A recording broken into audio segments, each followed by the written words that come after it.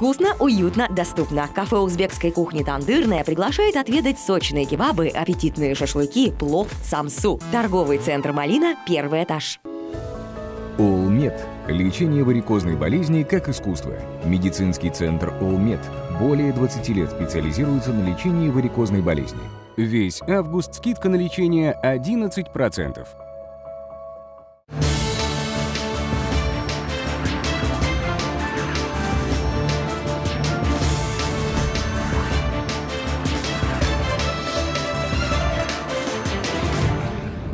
Подъезде жилого дома на Ленинградском проспекте обвалился потолок. Пострадавших нет. К расследованию причин подключилась прокуратура. Подробности через несколько минут. Новым школам в микрорайонах Гальянки быть. Нижний Тагил вошел в федеральную программу по строительству и капитальному ремонту школ, когда объявят официальный старт работ. Стали известны победители конкурса «Молодая семья-2017». Его участники прошли множество творческих испытаний. С теми, кто получил главный приз, встретилась наша съемочная группа.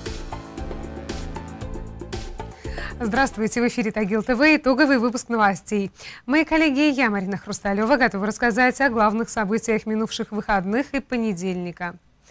В подъезде жилого дома на Вагонке обрушился потолок. Коммунальная авария произошла накануне. К счастью, пострадавших нет. По словам специалистов, деревянные балки прогнили от старости и сырости. На месте происшествия побывал наш корреспондент Сергей Трупанов. Значит, сижу, я это самое, читаю книгу в той комнате. Муж говорит, ты слышал? Слышала? Я говорю, что слышал? Ну, какой-то потоп такой, гул какой-то, как взрыв такой, но дальний взрыв. Я слышала, что это такое.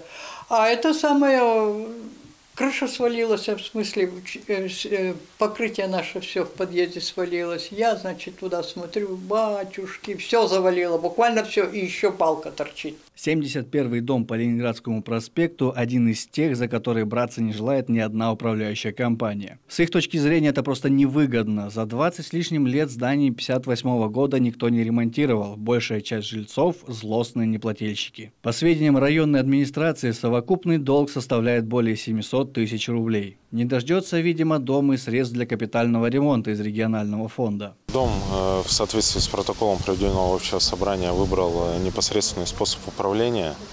Э, дом на данный момент договор не заключен на обслуживание ни с одной, ни с управляющей организацией. Вот. Капитальный ремонт в соответствии с графиком, так скажем, с планом, стоит на 2021-2023 год в соответствии с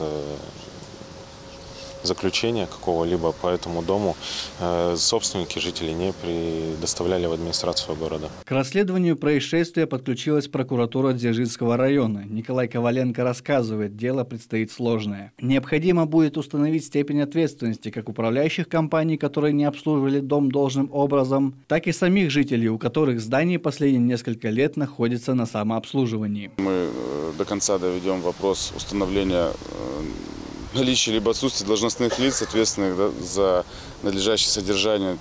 Э, если же окажется, что и обслуживающая организация прекратила деятельность на законных основаниях, и э, собственники не обращались за помощью в администрации, в администрацию, то вполне возможно, что мы просто будем дальше с собственниками работать для того, чтобы у них появилось, э, появилось нормальное обслуживание, ремонт. В ближайшее время городские власти намерены инициировать общедомовое собрание жильцов, на котором будет принято решение о дальнейшей судьбе этого дома. Подлежит он ремонту или сносу. А пока специалисты Тагил граждан проекта разрабатывают проект аварийного ремонта. Зияющие отверстия в потолке необходимо закрыть до наступления холодов. Сергей Трупанов, Вадим Усков, Андрей Фатыхов. Новости Тагил ТВ. Капитальный косметический ремонт. Согласно сметам проводимых капремонтов многоквартирных домов в Свердловской области, подрядчик не проводит замену балок перекрытий и даже детально не изучает состояние фундамента. Возник вопрос целесообразности проводимых работ. Быть может, лучше деньги, собираемые из жильцов, тратить не на покраску фасадов и замену труб, а на строительство нового комфортабельного жилья. Антон Исаев продолжит. Разумнее построить новое жилье. В Свердловской области подрядчики, проводящие капитальный ремонт, большое внимание уделяют новым окнам, крышам, фасадам. Но в смете капремонт, оплачиваемый региональным фондом, не прописано несколько важнейших элементов, например, обследование фундамента. Чтобы детально изучить состояние опор, на которых и держится дом, необходимо их откапывать. Но земляные работы затратные, поэтому их никто без особой надобности и не проводит. Также фактически сквозь пальцы утверждена смета и по перекрытиям. У нас в феврале были внесены изменения в закон, э, добавили еще у нас э, усиление, усиление чердачных перекрытий. Но перекрытия межэтажные, подвальные перекрытия остаются также не подлежать замене и усилению.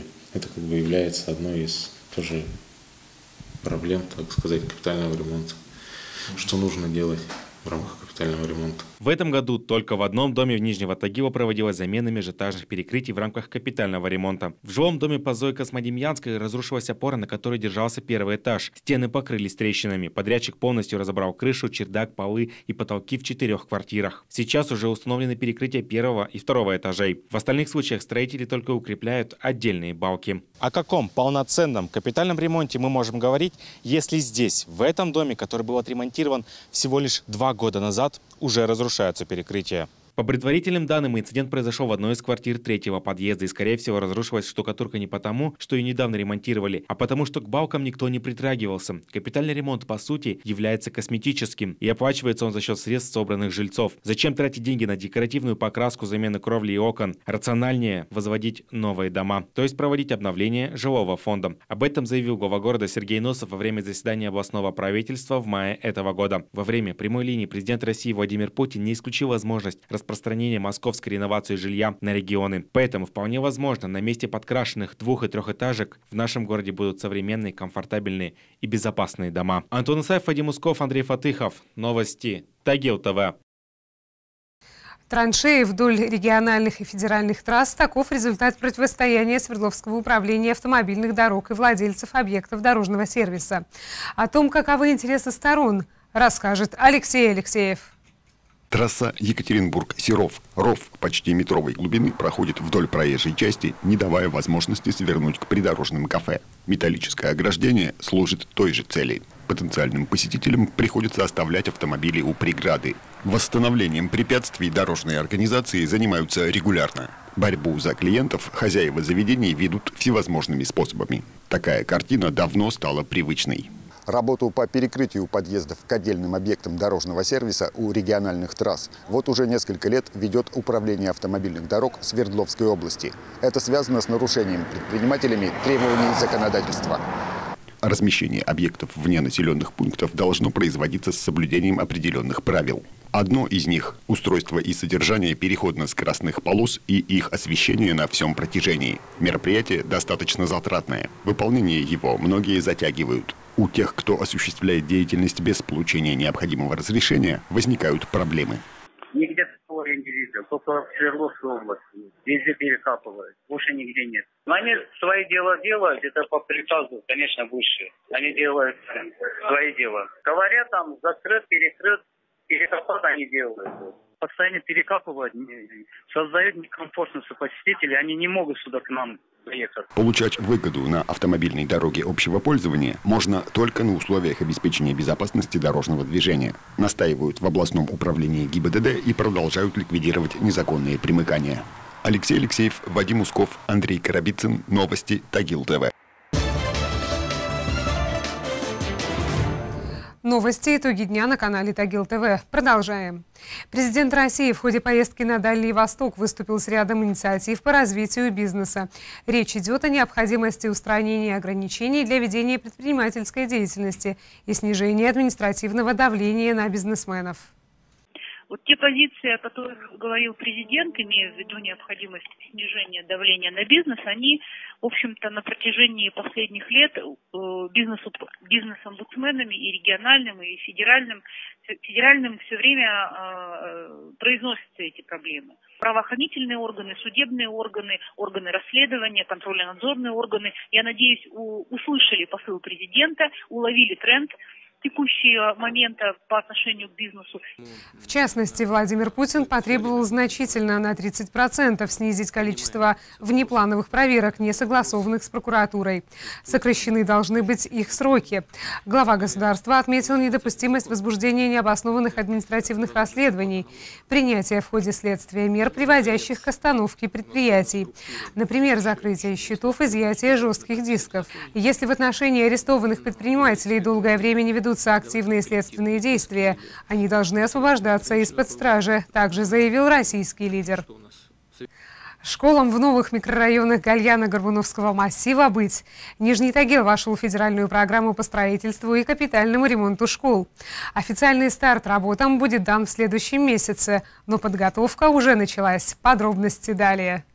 О необходимости новых учебных мест в Нижнем Тагиле говорится давно. И сегодня вопрос их создания нашел поддержку на федеральном уровне. Проект строительства двух новых современных школ на Гальянке обретает реальные черты. Об этом в эфире нашего телеканала рассказала заместитель главы администрации города по финансово-экономической политике Евгения Черемных на этой неделе пришла э, радостная информация о том, что отбор Министерства образования Свердловской области э, проведен Министерством образования, и обе школы, э, которые заявлял город Нижний Тагил, отбор прошли, и войдут в государственную программу Свердловской области на финансирование в 2018-2019 годах. Оба учебных заведения будут построены в новых микрорайонах города, как говорится, с прицелом на будущее. Каждое образовательное учреждение рассчитано на 1200 учебных мест, что должно решить проблему учебы в две смены, по крайней мере на Гальянке. Количество мест э, для обучения детей там, э, именно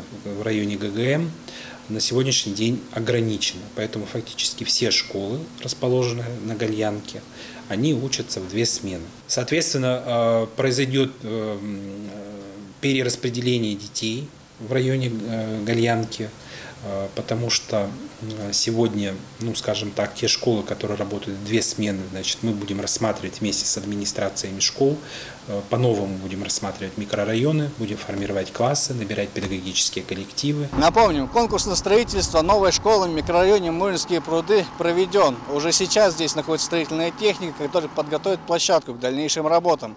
А в сентябре будет дан официальный старт строительства. Согласно планам администрации города, готовые здания будут сданы к началу 2019 года, а той же осенью в новых классах приступят к учебе юные тагильчане. Сергей Трупанов, Вадим Усков, Андрей Фатыхов. Новости Тагил ТВ.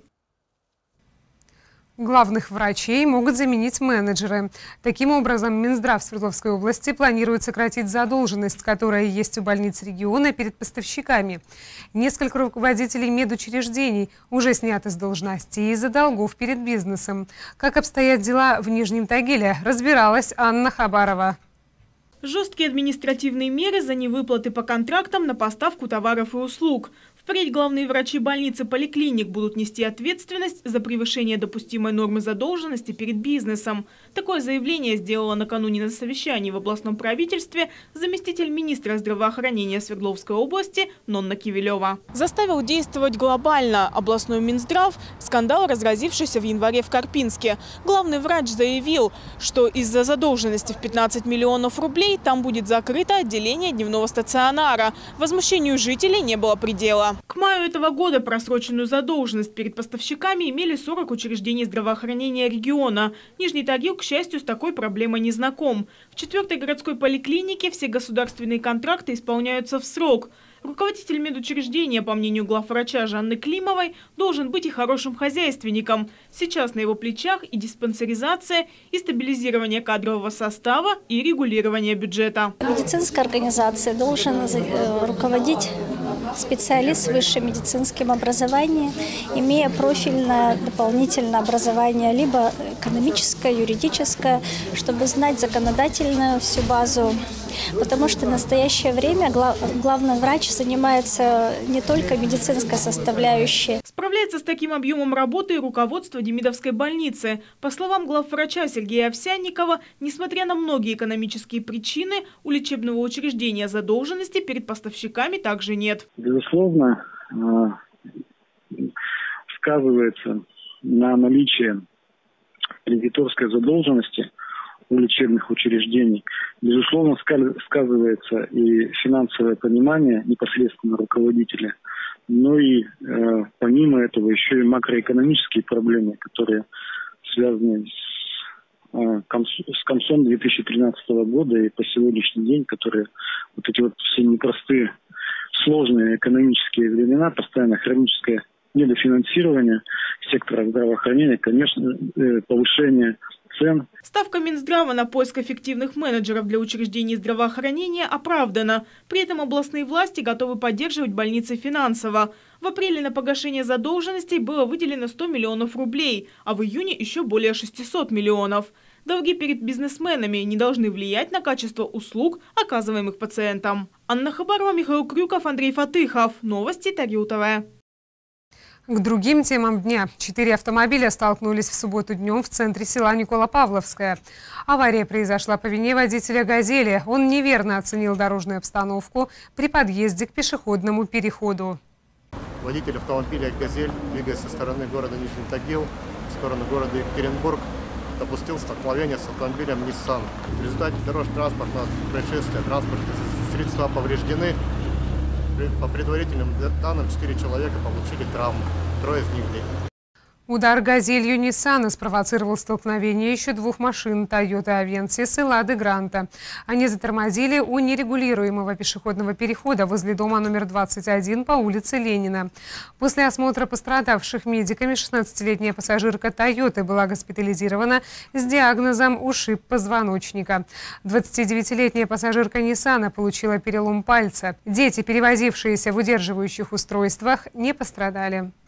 Автобус вновь курсирует от вокзала до Ольховки. По маршруту номер два возобновлено движение через Красный Камень и Аглофабрику по расписанию, сообщает пресс-служба мэрии. Автобус вновь стал ходить после ремонта участка автодороги по улице Береговая Краснокаменская. Сотрудники ГИБДД провели стопроцентную проверку транспортных средств, осуществляющих перевозку пассажиров между населенными пунктами. Контроль велся на пунктах отправления и прибытия и промежуточных остановках. Внимание уделялось техническому состоянию автобусов, оформлению путевой документации, наличию и исправности тахографов, физическому состоянию водителей, соблюдению ими и пассажирами правил дорожного движения. Всего за время рейда было выявлено более 50 нарушений. Добавлю, поводом для профилактического мероприятия «Автобус-маршрутка» стал рост числа аварий с участием междугородных автобусов. Семья Катриш лучшая в Нижнем Тагиле. Во Дворце молодежи подвели итоги традиционного городского конкурса «Молодая семья». Его участники прошли множество творческих испытаний и даже успели выучить английский язык. С теми, кто преодолел все этапы на отлично и получил главный приз, встретилась наша съемочная группа. Так, смотри-ка, подвиньтесь. Вот.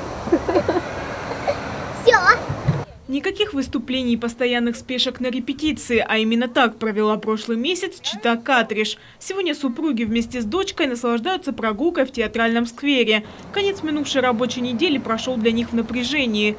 В пятницу неожиданно для себя на гала-концерте они узнали, что стали лучшей молодой семьей города. Никакого чувства не было, честно, откровенно, потому что э, не ждали ни проигрыша, решили уже под конец, что просто повеселиться, попеть, ребенку показать большую сцену. А, а проигрыши, выигрыши даже как-то уже, чем ближе к концу, тем меньше думали.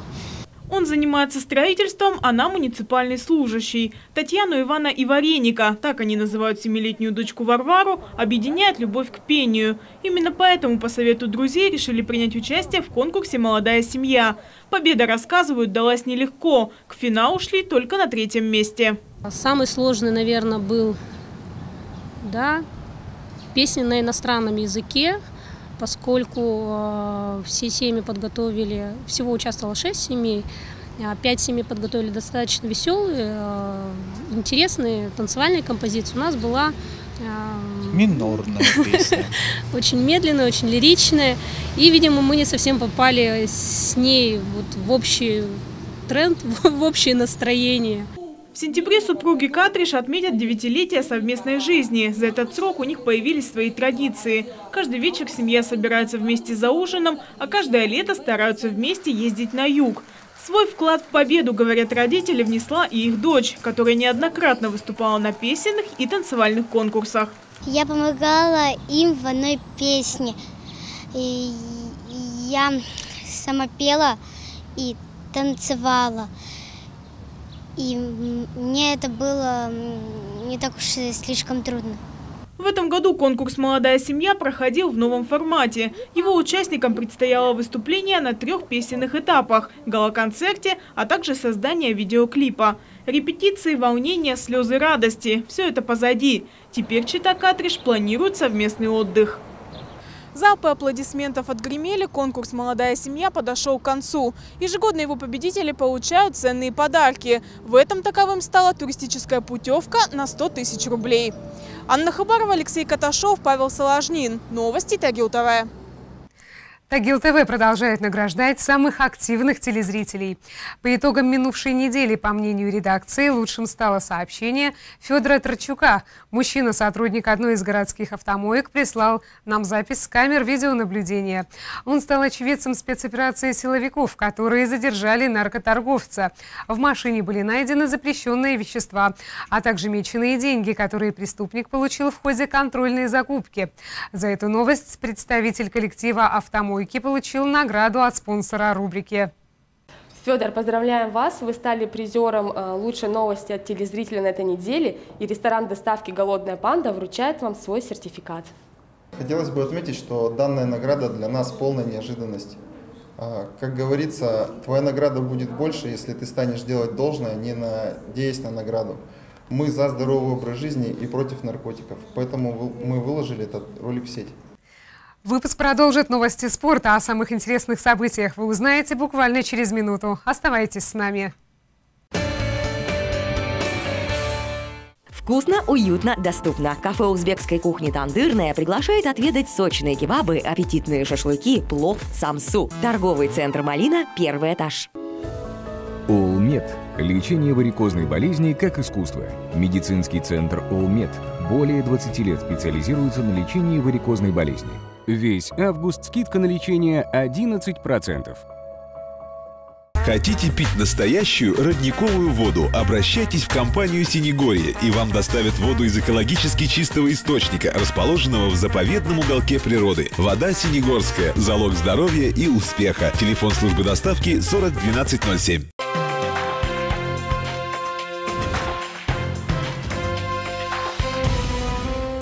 Тагильский полицейский покорил Ангару.